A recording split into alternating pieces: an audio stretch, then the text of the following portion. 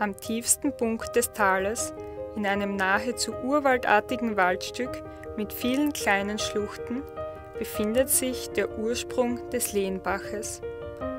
Der sogenannte Mullbraunerde-Buchenwald ist ein geschützter Fauna-Flora-Lebensraum. Typisch für diesen Wald ist die Rotbuche, Hainbuche, auch Bergauhorn und Kiefer gedeihen in dem milden Unternahmer Klima sehr gut. Der typische Hallenbuchenwald mit Baumhöhen zwischen 30 und 35 Metern lässt aufgrund der dichten Beschattung begünstigt eine artenreiche Krautschicht mit Waldmeister, Buschwindröschen und Seidelbast zu.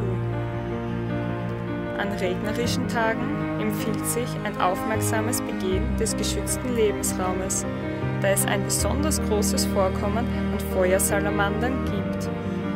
Der Feuersalamander ist generell in seinem Bestand gefährdet und befindet sich auf der roten Liste Österreichs.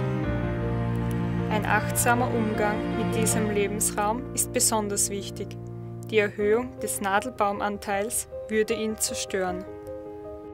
Mit Unterstützung vom Bund, Land Steiermark und der Europäischen Union